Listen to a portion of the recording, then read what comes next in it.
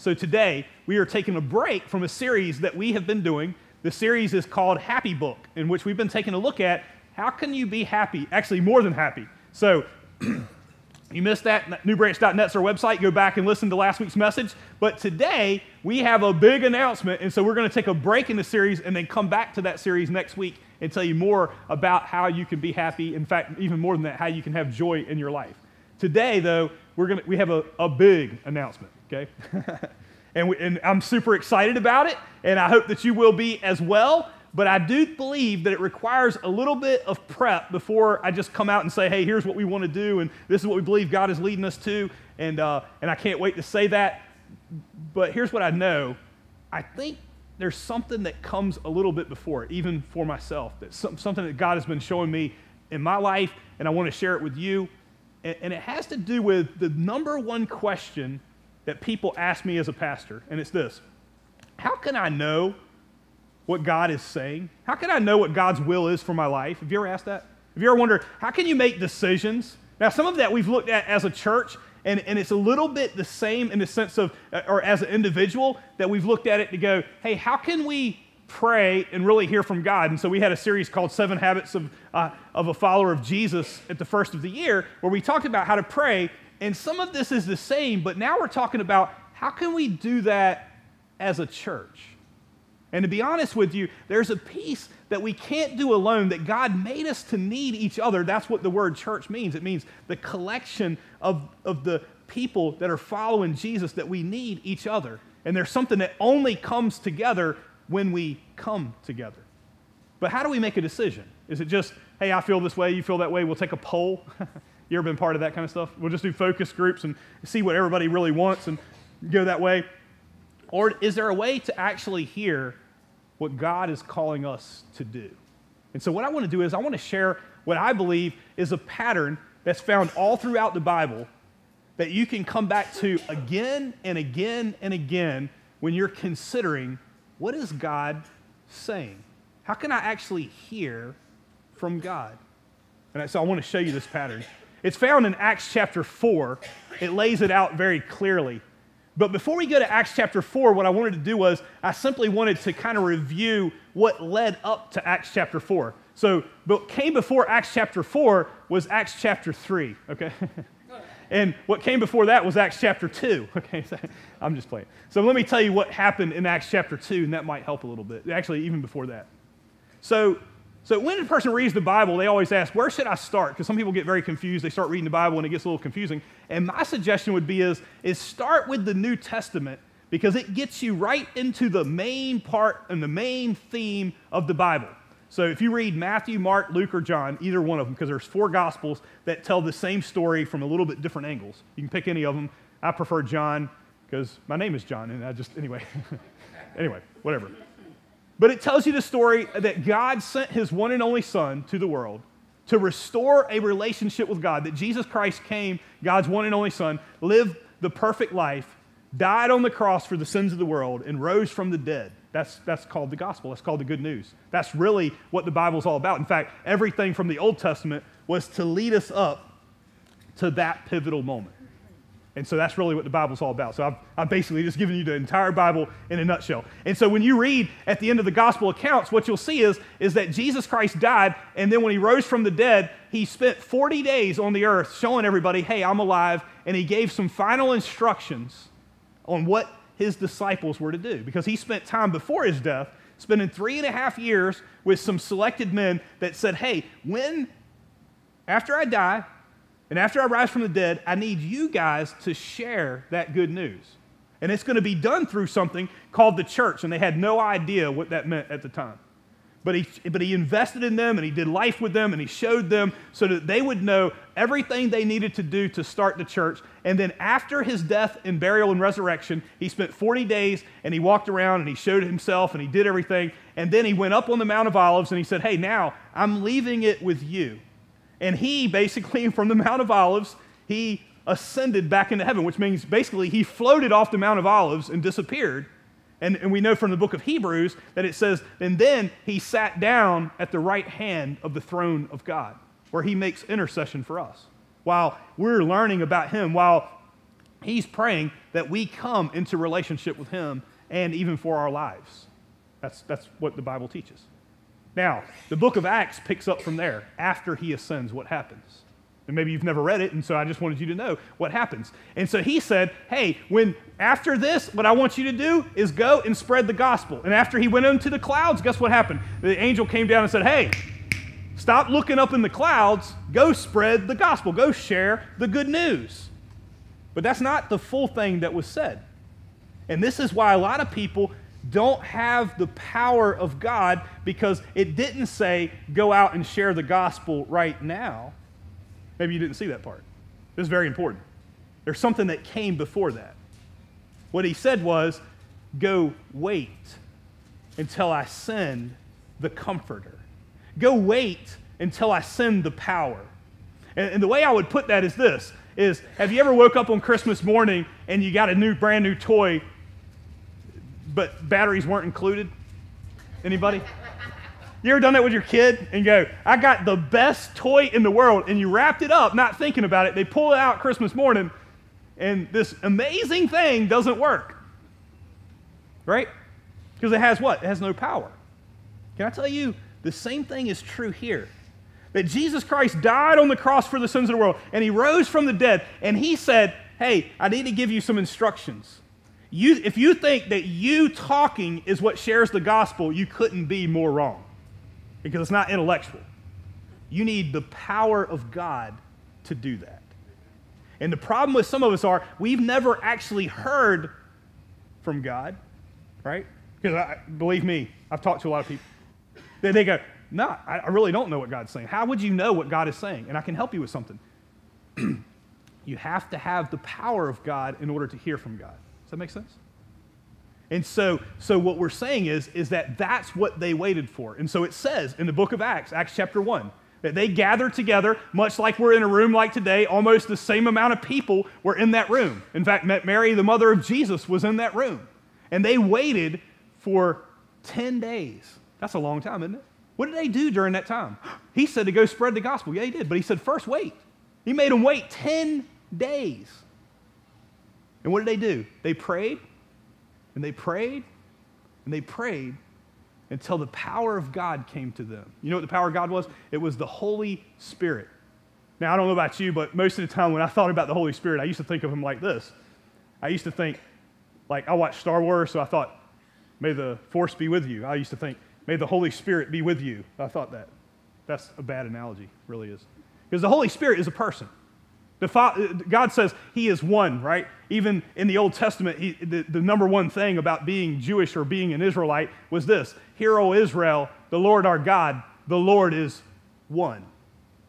Wait a minute, you're saying, well, you said there's three gods, right? Father, Son, and Holy Spirit. No, I said that there's one God, but He has three persons. He's, he's let us know that He has three persons, but He is one God. It's very confusing, but that's who He is.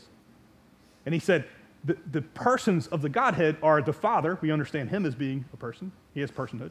We understand Jesus. We saw him, right? So he's a person. But where it breaks down for a lot of us is the Holy Spirit. We've never thought of him as a person, and that's why we don't know how to interact with him. Interact with him just like you would a person. And he says, You wait, and I will send the person of God, the Holy Spirit.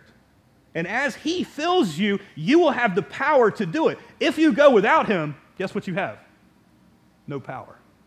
And that's what's missing in a lot of our lives. I just wanted to clear that up because I have a feeling that's what a lot of people are thinking. And before we go to what we want to talk about today, we can't go there until we understand this, or we won't be going together like they did.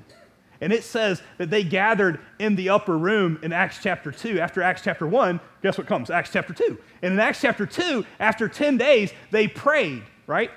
And it says when they prayed in unity, the word is actually harmonics. It means when they're in tune, right? As they come together, then what? The place where they were meeting was shaken. That's basically what it says in Acts chapter 2. Oh, I thought you said Acts chapter 4. No, Acts chapter 2. It says that it was almost like an earthquake and tongues of fire came down on top of them, right? But that's basically what it means. And then they were filled with the power of the Holy Spirit. But there's a part that a lot of people don't see. It's like, well, that's awesome. But here's the part that's important.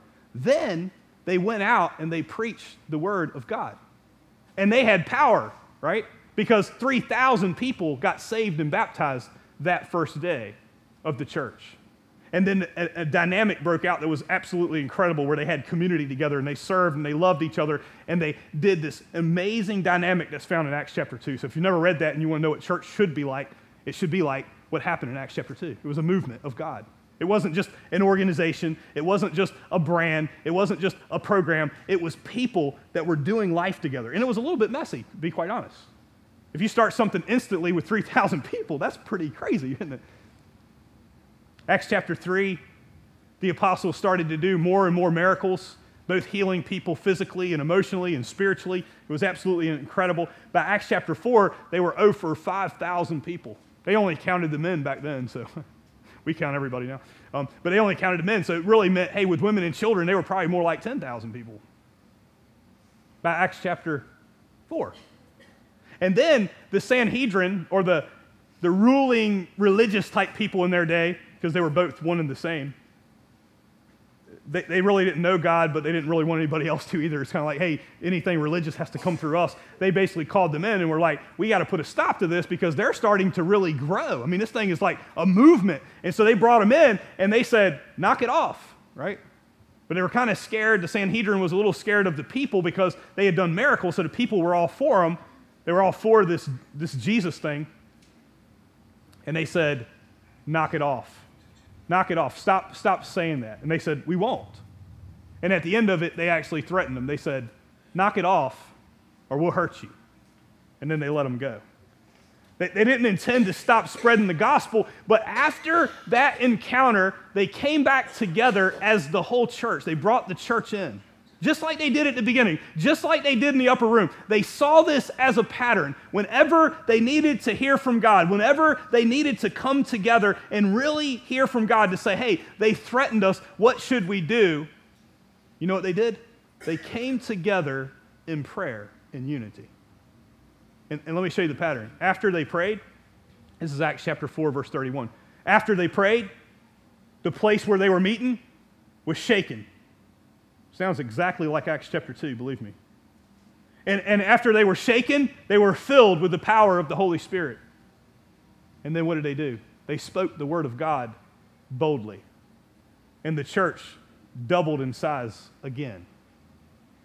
That's pretty incredible, isn't it? You know why? Because they had the power of God. They understood something. They understood that the power they went in wasn't those people. It was when we all listened to God. So they, so they came together and did that. Now, we see the same pattern, I want you to know, from Jesus himself. This is exactly what he prayed about before going to the cross. He actually saw this and prayed for it. John chapter 17, if you want to write it down.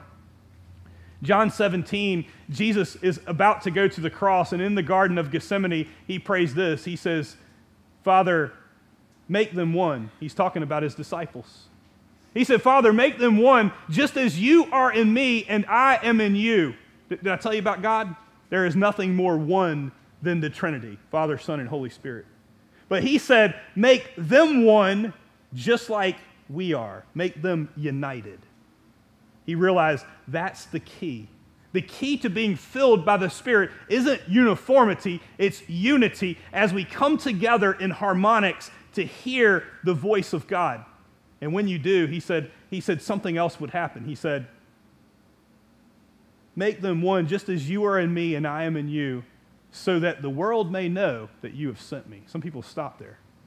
It's about mission. He's saying when they hear from God and are empowered, they don't sit on that for themselves. It's actually so that they can reach more people for the cause of Jesus Christ. And that's what Jesus prayed, not only for them, he actually said, I pray for those that come after them. That was his prayer for us. He prayed for you, he prayed for me. He prayed that we would become that. And that's the pattern that we see. So I simply want to just write it. I want you to give you the pattern so that you can write this down. We can apply that to what we're going to talk about today, but you can also pull this out anytime that you want to see how do I hear from God? Because believe me when I tell you that it may seem like, oh man, that's really common sense, but believe me in this case, common sense isn't always common practice. It's not even for pastors. So I want to just give you the pattern that I see. Four things, okay? Four things. how to hear from God. Number one, come together in prayer. Now, that sounds simple, doesn't it? But I got to be honest, even as a pastor, the first thing we want to do is, well, we're going to do this, and we're going to do this, and we're going to say this. And the way I see it is, right? Anybody do that? I do, right? That's, that's not bad. I mean, God made us that way to go, hey, we have a brain, but He's saying, before you make a decision, if you really want to know if God is in it, it isn't what you think, it's have you come together in prayer.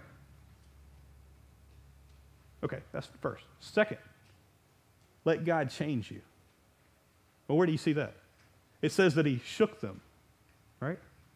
He shook the place. You pray until God shakes you. You, you know how I know when God's shaking you? Because it's not going to be anything that you thought of, right? Anybody ever had that? We said that when it applies to ourselves. If you go back to the beginning of the year, that's exactly what we said. We're like, hey, it doesn't make sense in my mind, so where did this thought come from? And we can weigh that out, and that's why it's important that we come together. So it's not just like, hey, I'm having crazy thoughts and I think that's from God. It's going, hey, as we come together, we're going, man, God is doing something amazing as we allow Him to change our thoughts, not leaning hard into self, leaning hard into God. So, number one, come together in prayer. Number two, let God change you. Number three, be filled with the Holy Spirit. Be filled with the power of the Holy Spirit. Why am I saying that? Not filled with self, filled with the Spirit. That, that's as spooky as we'll get with it. And, and the reason why I'm saying that is because so many people are like, oh, there's this whole thing about the Holy Spirit, and we're scared of it, and, and, and because we've seen some weird stuff that people do when they, when they claim that that's the Holy Spirit. It's not weird. What we're simply saying is this is that the power of God comes as we yield ourselves to Him. We see it in Ephesians. He says, Don't be drunk with wine, which leads to debauchery. Any, anybody need an explanation on that? I made a mistake of asking, How many people have ever been drunk? okay, let's not do that again today. I thought it was funny. And a majority raised their hand. Okay, we, we got you.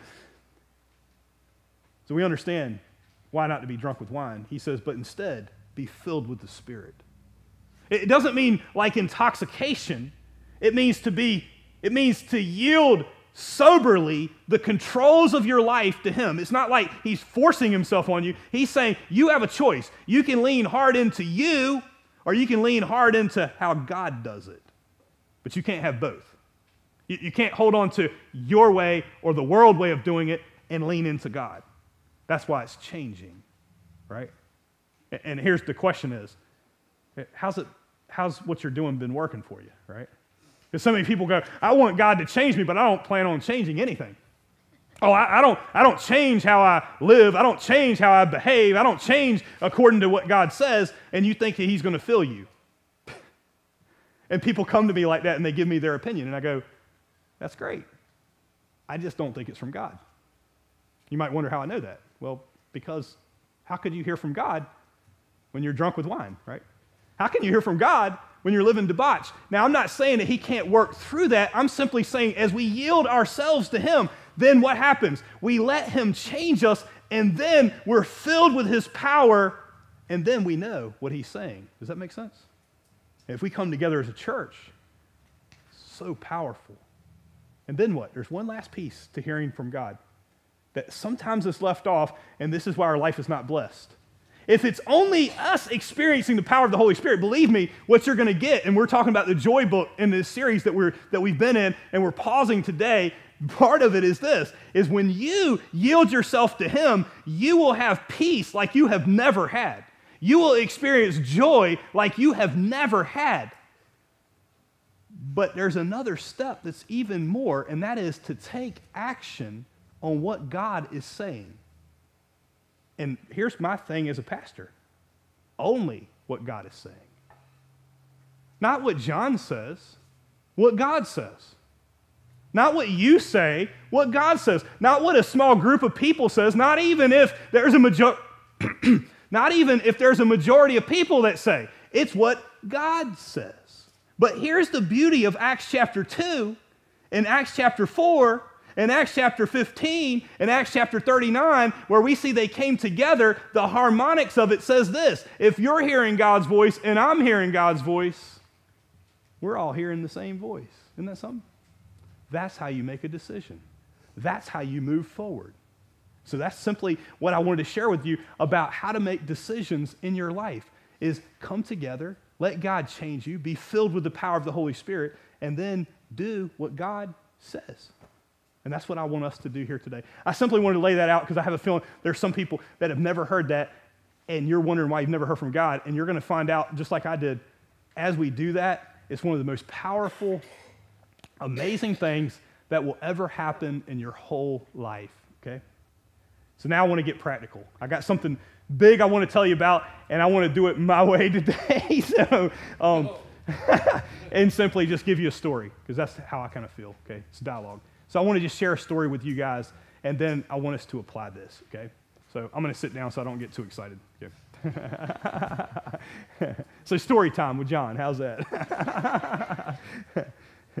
so about three years ago, I feel like I feel like I, I saw something, and, and, I want to tell you what that was. So three years ago, I went to a um, I went to a conference. It was actually a training for church planters, and it was from one of the largest church planting organizations in the world called ARC, called Associated Related Churches, that we've been part of and we help support.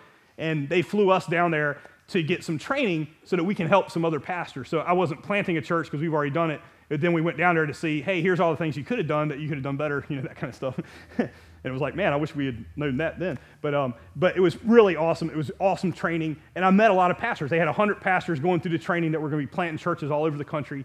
And while I was there, it, felt like by coincidence, but I don't think it was. I met a guy by the name of Eric Dingler. And, um, and I was in the hallway, and him and his wife were out there. And I just said, Hey, where are you guys planting a church? And he said, um, In Virginia Beach. And I was like, Oh, wow. You know, um, that's pretty close to where I'm at. I'm out in the country. Um, and he had not heard of Windsor. He definitely hadn't heard of Zuni. So, anyway. Uh, but he had heard of Norfolk. Okay. So anyway, um, I said a little bit further out west than Norfolk. Um, and, and so when he came, I said, hey, why don't you come eat, you know, breakfast with me one morning? And so I took him to Farmer's Daughter, and that was kind of fun. And um, he said, What would you recommend? I said, The pancakes. And, uh, and so he said, Well, I'm really hungry. Should I get one or two? and I said, Definitely two. Um, and people that have been to Farmer's Daughter, you, you're laughing because the, the pancakes there are about the size of this, this right here. So he got two, and he's like, whoa, you know. he's like, my whole family ate off of that later that day, you know, so it was kind of funny. And, uh, and so we had a good conversation, and, and, then, and then we left. And, and, and then what, what happened that same week was I got a call from a church that's right down the road from us. They're about five minutes from us. If you were to go out here, and if, when you get to Dairy Queen, if you were to turn right on the 258 heading towards Franklin, they're about five minutes down 258, and their church is called, it was called Mount Carmel. And um, we had a relationship with them and the pastor there and stuff. But anyway, their pastor had left, and they were just looking for somebody to f- fill the pulpit. And so I was like, um, yeah, I can recommend a few guys, but um, I met this guy at the ARC conference, never heard him preach, so don't have any clue. He may be horrible, uh, but I don't think so because ARC has approved him, so he's probably pretty good and he seemed good and stuff. And, um, and so he went out there and preached for him one Sunday. And he actually came to our church before that, and so he came to our first service and then went and preached at Mount Carmel. And I actually asked him to come in here and mystery shop us to go, hey, see how we're doing. So he gave us some feedback. You want to hear some of the feedback he gave? No, I'm just playing it was really good feedback. And he, he really loved our church. And he gave us a couple of pointers that say, hey, here's some things you could do better. And um, we actually changed some of those things. It was pretty awesome. And then he went out there and preached. And they liked him enough that they said, hey, Eric, why don't you come here and, and, and pastor here? You know, like instead of planting a church, why don't you do that? And he's like, ah, no, I don't, I don't think that's what God, you know, I think, I think I'm really, I should be planting a church in Virginia Beach. And so they, so they, made, they made an agreement to say, hey, maybe he would preach for them for a period of time to help them out. And so they did. And through that, they started to pray. And it was a pretty amazing thing that happened there, which was a church that was probably 196 years old made a decision to say, hey, what if we, what if we shut down and relaunched under your church plant? And that, that's exactly what they did, which was pretty unheard of. I've lived out here most of my life. I know a lot of the churches, so so it's very unheard of to see a church do that, but they wanted to make some changes and they believed in what was happening, and so that's why they became Coastal City Church. So just to be clear, he didn't plant a church in Virginia Beach. He came out here and he helped revitalize the church, and basically it was like a church plant because they were probably about 20 people at that time. And since then, over the last couple years, they've kind of built up and they have one service, but they've built it up to, you know, 75 plus people. And it's been really, really super awesome. And they've had services above that, way over 100 people and stuff like that. And so it's been a really amazing experience. And the people are super excited about what's going on. And they're reaching people. And um, we've done some partnerships with them. And they asked me uh, early on to be an advisor in their, or uh, an overseer in their church, which is basically like a pastor that provides some oversight and accountability for their pastor, and they can ask me advice and things like that. Um, and so that worked out pretty good. And then after about, a, after about a year of him doing that, I saw something that I felt like God laid on my heart. And so I, I went to Eric and I said, Eric, I've been praying about this, and, and there's something that I see that I just want us to consider. I said, I've never considered anything like this before, so this might be from God because I wouldn't have, I wouldn't have even thought of this. I said, what if we're so similar in what we're doing in the same small area? I was like, you know, you have the same vision that we do. And the reason why I know that is, is because when you came, you said, hey, can I use your vision statement? and we said, sure, you can use our vision statement. So it's the same. And then you reworded it, and, and you reworded it because you're a better wordsmith than me. And, um, and so now we use your vision statement, and you said we could. So, so we have the same vision, honestly, same vision and mission and all of that. But, but culturally, we're very the same. How we do church, how our people respond, not, not ethnically, we're all ethnically diverse and stuff like that, but culturally, we're very similar in how we do things and how we see ministry and, and even, you know, how we're reaching people and relationships and stuff like that. And we've done several events together and stuff like that. And I said, what if we what if we combined efforts? And he said, Oh man, I'm really open to that. He said, But I think it's too soon for our church. And I said, Yeah, I, I agree. So we kind of tabled it and we kind of we kind of wrote it off for a while. But every time we got together, either one or the other of us would joke. You know, like I went out there and we, we helped him find a contractor that could renovate his auditorium, and they did an excellent job. I think some people are here that helped with that project. It was absolutely awesome. And what they did was they raised the floor and pulled out their pews so they could put in chairs. In fact, their chairs are more comfortable than ours. Anyway, you can preach longer. Kidding. and so, that was a joke. and, uh, and so they, they leveled the floor so they could use it for act- activities and stuff like that. And they put in a brand new sound system. And we went, hey, man, that's exactly the sound system that we would want to get. It's digital and all this kind of stuff, but it was very expensive. And so we're like, hey, wow, that's awesome. And then when we hired a music minister, he was kind of like, oh, man, we wish we could I mean, if we were together, we could be doing these things, you know. And there was just several things like that that every time we get together, we'd be like, man, if we were together, we could, you know, and, uh, and joking around. And then we did some events together. We did a, a, big thing out in Franklin where we helped the community and we came together and partnered and our people got along really well together. And then we did a fishing trip this past summer together and it was really fun. And, um, and so, anyway, we've done a lot of things like that. And we just kind of tabled it anything we can do to help them. I think they've used our baptistry and stuff like that. And so just a lot of things like that that we we, we do together. But over the last little bit, I, I just really believe that God kind of pressed me again about it. And so I called Eric back up and I said, Eric, I, I just want to revisit it. I mean, if you don't think this is good, we'll just, you know, stop right now. And he said, no, I, honestly, I think the timing is right this time. and I really can see a vision for that because of some of the things we want to be able to accomplish in the future that we could really do more together than apart. And so we said, hey, let's pray about it together, but let's bring in our, our closest advisor, which is our boards, and bring them in so they can pray about it and actually speak into it because they may see things that we don't because I have a lot of crazy ideas. And so, so that we, our board started to pray about it. And we brought our families together. Our board said, hey, we, we actually think that has some validity. We'd like to pray on it sometime. And so we decided, hey, we'll bring our, our wives and, and our kids together.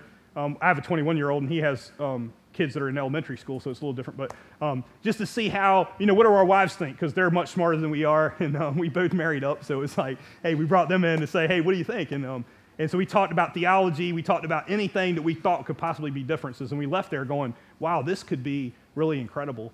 And um, our boards liked it, and so we brought the two boards together, and they prayed about it, and they, they, they came together, and they, they were like, it feels like th- this is really an awesome thing. And then after that, we, um, we brought in our ministry leads and we said, hey, before we approach our congregation, we would like to make sure that what, what do you guys what do, what do you guys think? You know, like like I want you to pray about it. And we brought them together and they asked questions, and, and they were all in agreement. And so that's kind of why we're coming here today is to say we really believe that God is leading us to merge our churches together. That we really believe we could do more together than apart. And um, we think there's some long term wins, um, and I think they're probably the more important ones that in, a, in an area our size, we believe it would be served better by one highly functional church than two churches doing the exact same thing in the exact same place.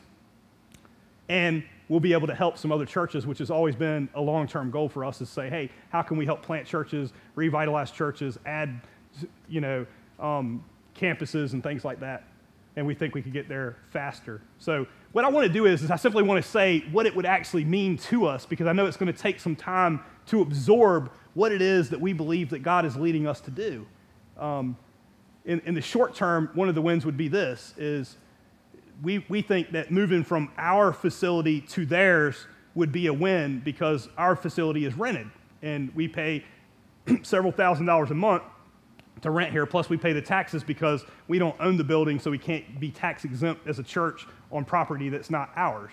And so we pay a lot more money. So, being a good steward, we feel like that church could, could house, it's, it's about the same size as we have, and they only have one service. So, by the time we put our people together, we feel like we could house it under one service. And just by, for some of us from Windsor, driving five more minutes, because that's how long it takes to get from here to Coastal City Church that's in Walters, um, it would take five minutes to get there. We would save several thousand dollars a month, and we think that would be a better stewardship of our money. Um, a lot of people have asked, what would that do to our land? And the answer to me is, is that it would get us that much closer to being able to use our land because we would have two more functioning congregations with more leadership and two full-time pastors um, that can that, that what we've decided is, is that we would share responsibilities to say where he's really gifted at, that's the ministries that would fall under him, and where I'm really gifted at, those ministries would fall under me, and then we would share responsibilities preaching,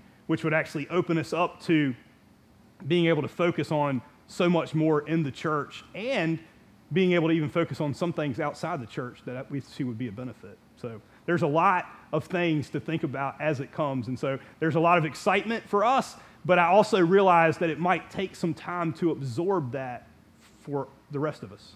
Um, and you may be like some people have been like, hey man, I think I'm, I'm, I'm on board right away. Some people, it might take you some time. Some people might be on board right away, and then some questions will come. And so, what we would like to do is, we would like to give you some time to do this.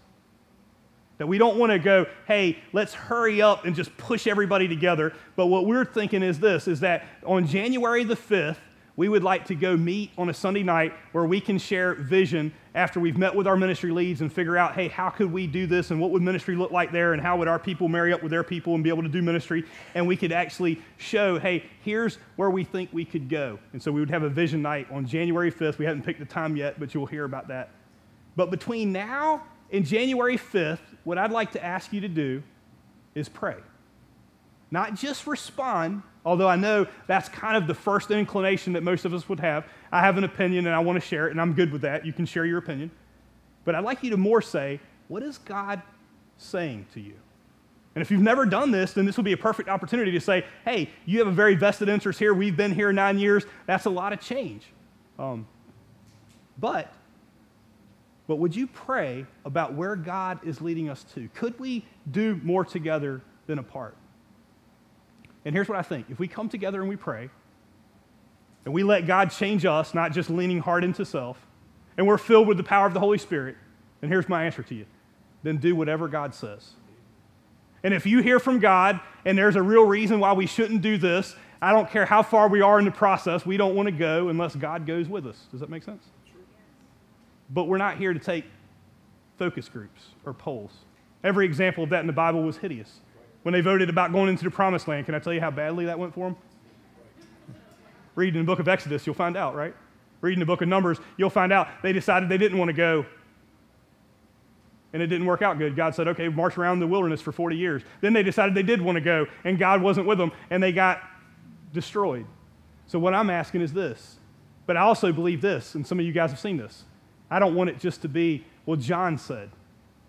Because while I lead the church and while I have a voice and I hope that's a good thing and I, and I, don't, I don't diminish leadership at all, it isn't just because John said. It's because we believe that God is leading us there.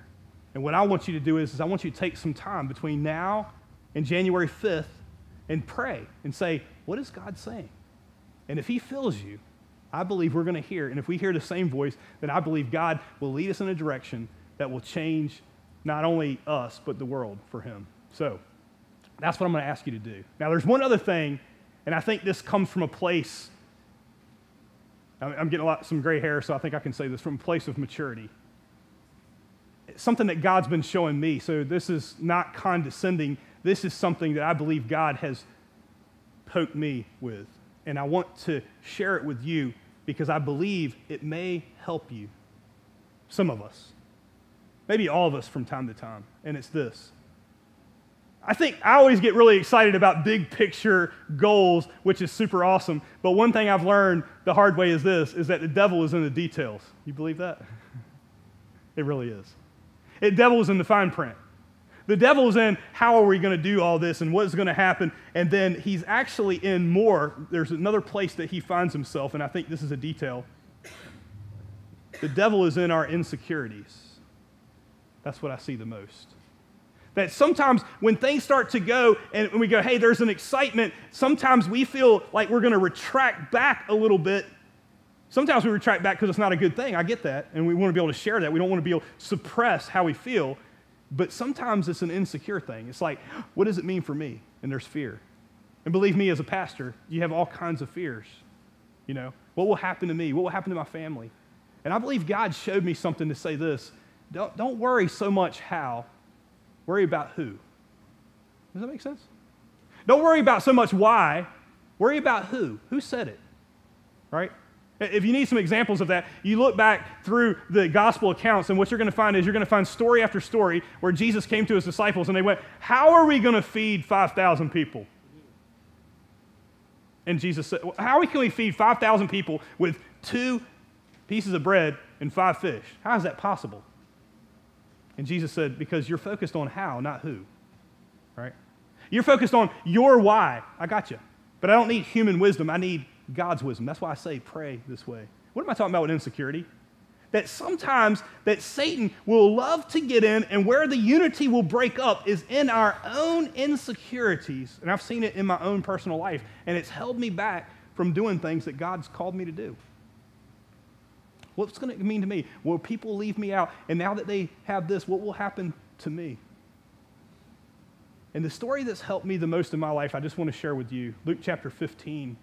It's one of the most important passages, I believe, for our church because it's where God, where Jesus really clearly teaches how God sees us. But the point of the story isn't everything that we've pulled out of it, it's actually the end of the story of Luke 15. That's the main point, and I think it's, I think it's one that could help us today. The story is this is that Jesus had came to speak to some people that were very diverse. And most of them were sinners and tax collectors, and a few of them were religious rulers. And the religious rulers were basically saying, Why would you talk to these guys? But what was behind that question wasn't that, it's why don't you care about me? Because if you care about them, you must not care about me. That's insecurity. And Jesus saw it, and so he told a story. And he said, Here's how God sees you. And he started saying, Hey, wouldn't you leave 99 sheep to go after the one lost sheep? Wouldn't you leave you know, your money at home and go find the one lost coin? And then he gave another story where he said, Hey, it's like this. A father had two sons, and the youngest son said, Hey, give me my inheritance now. And, and the young son went out and squandered his money on wild living and prostitutes and all kinds of things like that. And then the son, after he squandered all the money, he ended up having to get a job, but he had no skills, so he ended up in a pig pen. and then he said, My father's servants live better than me. Why don't I go home? And then when I go home, my father will, will allow me to be a servant and I'll live better than I do now. And so as he comes home, he's working up this speech to apologize to his father. And the father meets him on the road and he runs out to him and, and he puts sandals on his feet and a ring on his finger. And, and he says, Kill the fatted calf. My son has come home. And God is saying that's how God sees us. He wants to restore a relationship. He's not against us, He's for us. And when we come humbly back to God, He will restore us. But that's not the main part of the story. The main part of the story is the last part. This is, what, this is how he ends it. He says, and then as they're celebrating this son that returned, right? The older brother comes home. And he's fine until he hears, hey, who are they celebrating? And they say, your brother my brother. and his insecurities start to take over. And what happens? When he sees the Father, he lashes out. It's a picture of us lashing out at God, quite honestly. Why did you do that? How could you do that for him? Why are you celebrating him? And what we're really asking is this he finally got down to it. You haven't even given me a goat. You've never done anything for me. You read Luke chapter 15, it's amazing. It's showing all of his insecurities. And the father didn't get mad. You know what he did? He came to the son in his insecurity and he put his hand on his son's shoulder and he, and he showed him a vision. He said, Everything I have is yours. It always has been. I'm right beside you. Don't let your insecurities make you miss the mission of God. He's giving him a pause. He's saying, Everything I have is yours. But here's the thing, son I'm always with you. I haven't held anything back from you. Because I love him doesn't mean I don't love you. And at the end of it, you know what he says? But we had to be glad and celebrate because this brother of yours was dead and he's alive again. He was lost and now he's found. That's the thing that our church is built on. But here's what I know after nine years, as we start to make changes, that Satan would like nothing better than to get into the insecurities that we have in our lives and say, hey, what does that mean for me? And what is going to happen to me? And what's going to happen to the way I like it? And what's going to happen to this? And what I'm telling you is this is that I believe that God is coming alongside, not me, God is coming alongside and He's saying, hey, don't worry. If I'm here, you're going to be all right. Get it? Allow Him to do a work. How do you do that? You come together and we pray. We come together and we let God change us. Believe me, this is, this is something for me too. If you don't think pastors are insecure people, then you don't know many of them, if not all of them. But I believe that we can move forward together in something that is almost unheard of because it will take humility for all of us to do more for the kingdom of God than for our own kingdom, if that makes sense. And we come together and we pray and we let God change us and we're filled with the power of the Holy Spirit. And then here's the thing then the only thing I'm asking you to do is just do what God tells you. And that's it. So here's what I want to do today. If you got questions, please come see us, talk to us, talk to our leaders. We want to entertain all of them. But I want us to start by praying. And so I've asked Carol Owens, I'm pulling out the biggest gun that I have, okay? She's a mother in the faith to me. And believe me when I tell you, any change that we've seen in our church over the last several years, Carol Owens has been praying for all of us. If you felt the presence of God, it's not because I'm gifted or words. It has to do with her praying and the Spirit moving in this place. And we really believe that's a matter of prayer. And that's what we want to start today. It's not the end of that, but over the next several weeks, we want you to take time and pray about this. And then what we want to do is be moved by God, and whatever He says, then that's what we're going to do. So, Carol, would you come and pr- close us in prayer? Would everybody stand with us?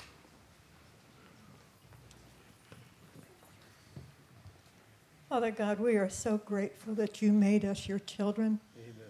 And that as a child of God, as we sang this morning, that's who I am. I'm a child of God. One of my privileges as a child of God is hearing my Father's voice. Jesus said, My sheep know my voice. Amen. And they hear me and they follow me. Father, that's who we are. Lord, remind us of that as we fix our hearts and our minds on you this week and begin the process of asking you, Lord, to give us a vision of what you are doing in this place, God. We don't want to just hang on to what has been and what is comfortable, Lord. We want to be where you are doing what you are doing. And Father, you have heard our prayers for nine years in this building. We've had great experiences here. Some of us found a relationship with you in this building. Some of us came back to fellowship with you in this building. We have all been changed by hearing the word of the Lord and the presence of the Spirit in this building. But it's not the building. the walls and the roof over our head are a convenience, God. But what made all of those changes what changed our life completely was the presence of the Lord Jesus Christ, the presence of the Holy Spirit. And Lord, we don't want to stay camped out at this lovely oasis if the cloud is moving and you are taking us somewhere else. Yes, it means changes, possibly. It means getting out of our comfort zone And we are averse to that as human beings. We like things to stay the same. We like to get them all comfortable and arranged. And when you come and stir up our nest, it's uncomfortable for us. But God, more than anything, we want to be where you are and doing what you are doing. We have sought your face for nine years and said, Lord, bring in the one from the community. Show us how we can reach all of the people in this city that you have assigned us to bring into the kingdom of God. We don't want to miss that because we'd rather sit at our comfortable oasis. We want to hear from you, God, and I, for one, am committing that when I hear what you're doing, I will take action and follow you, Lord, even if it means I have to make changes and drive further or whatever it might be, Lord God. Take on responsibilities I don't have now. Give up responsibilities that I kind of enjoy and share them with other people, whatever it means, Lord, in all of our lives. More than anything, we want to hear your voice and follow where you're leading us, Lord God. So we seek your face this day, Lord, and we thank you that we can confidently expect to hear your spirit speaking to our spirit. We are your children, Lord, and you speak to us. And we thank you. And we ask you this in the name of the Lord Jesus Christ. Amen. Amen.